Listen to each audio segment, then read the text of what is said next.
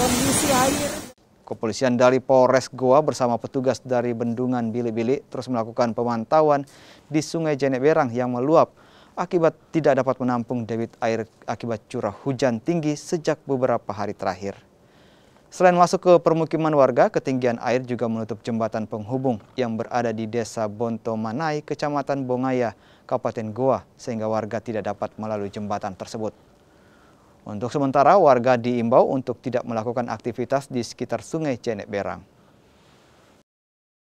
Jadi memang uh, seperti di daerah Sapaya juga memang ada uh, luapan air yang cukup tinggi uh, dan arah air itu kan nanti larinya ke Sungai Jenek Berang dan kami hanya bisa menghimbau kepada seluruh masyarakat untuk tetap uh, meningkatkan kewaspadaan, tidak melakukan aktivitas baik menyeberang maupun melakukan pemancingan atau kegiatan di sepanjang bantaran Sungai Jenek Berang karena kondisi air di uh, atas sana cukup tinggi.